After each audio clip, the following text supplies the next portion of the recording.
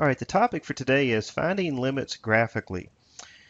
And we're given the function here, x cubed minus 8 divided by x squared minus 4. And before we get into actually calculating the limit, I want to look at what is the domain of this function.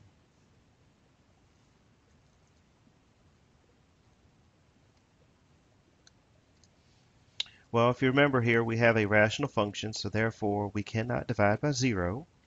So if we take our denominator and we set that equal to 0, we can solve for x.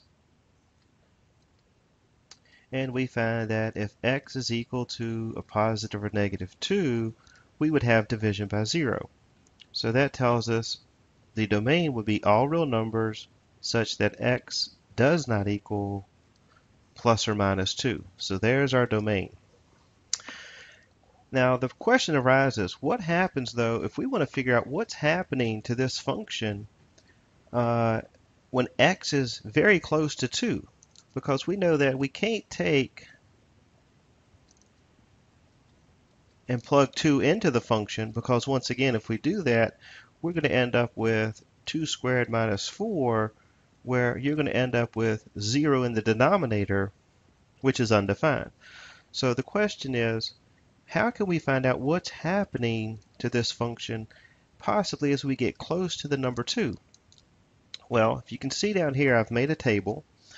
If we take x values less than the number 2, so as we approach the number 2 from the left, and again, when I say the left, if you think of a number line, we're looking at values less than 2. So I'm picking values really close to 2, 1.9, 1.99, and 1.999.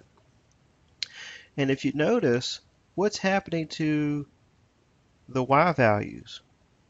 Down here in red, these values are approaching the number 3. So from the left, our y values are getting closer and closer to 3. Well, what happens if we approach values from the right? If we approach values from the right of 2, 2.1, 2.01, 2.001, again, what's happening? Our y values, our function, again, is approaching the number 3. And actually what we just found here is you found your very first limit. So the limit of this function here, and the notation for this would be the limit of x cubed minus 8 divided by x squared minus 4 as x approaches 2. Now, if we notice with this particular example, we can't plug 2 in for x because we said 2 is not part of the domain. But if we look at our table of values above, we know that as x gets closer and closer to 2 from the left and from the right, our y value is approaching 3. So there's your very first limit. And that's all that limits are looking at. What's happening to a particular value as it's getting very close to a number. So in this function, we're looking at what's happening as x gets extremely close to the number 2.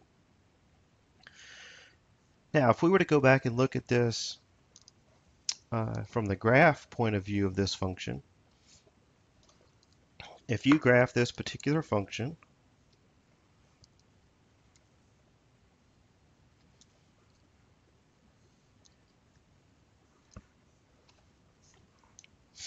your graph would turn out to look something like this.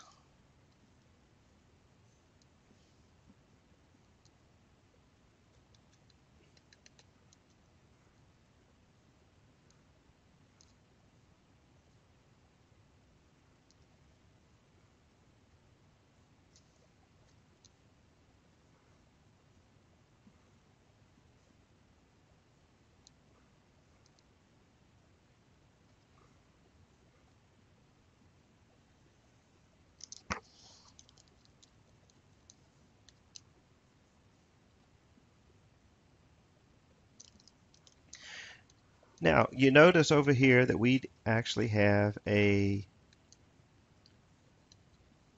vertical asymptote at x equals negative 2. And at x equals positive 2, we have a hole in the graph. Okay, now we have the vertical asymptote at negative 2 because once again, negative 2 is not part of the domain. And then at x equals 2, we have a hole in the graph. Now, why do we have a hole in the graph at 2 and a vertical asymptote at negative 2? Well, if we go back to our function, if we factor our function here, x cubed minus 8, that is a difference of cubes, we could factor that expression to x minus 2 times x squared plus 2x plus 2 divided by x squared minus 4, and that's a difference of squares, so that factors to x minus 2, x plus 2. And if you notice here, the factor x minus 2, x minus 2 cancels. Well, the x minus 2 is what was giving us x equals 2. That's the part that was giving us 0 in the denominator. Well, because this piece cancels, any factor that cancels here, that's going to give you this hole in the graph. The other part over here where we see that x equals negative 2 from this factor x plus 2 that didn't factor out, that's why we end up with the vertical asymptote at negative 2. Okay, now, if we look at the graph, we know that the function is undefined at 2. Well, our limit says what's happening to this function as x approaches the number 2. Well, as we approach 2 from the left, we think down here, your x values are getting closer to 2, and you can kind of follow the graph. As it gets closer to 2, what's happening to your y values? Well, as we get closer and closer to 2, your y values are getting closer and closer to 3. And if we approach 2 from the right, what's happening to our values? Well, as we get closer and closer to 2 from the right, once again, if you notice here, if we pick this point, we go over and we get a little bit closer and we get a little bit closer and if you notice, as we get closer to this open circle at 2, our y value is approaching 3. And again, that's really the basics of a limit. What's happening as we get extremely close to that particular number. and the notation for this is the limit of f of x as x approaches some number c is equal to L. Okay, and for now we're just going to kind of discuss this uh, as being the informal definition of your limit. Uh, basically, we're saying what happens to our function as our x value gets closer and closer to this value c. And as we get closer to the value of c, the function is approaching the limit L. And keep in mind, when you're calculating the limit, this value L, in our example, the L is the 3, our C value up here was 2, so the limit of this function as x approaches 2 equals 3, keep in mind your limit is always a y value, okay? So this here, the limit is going to be a y value.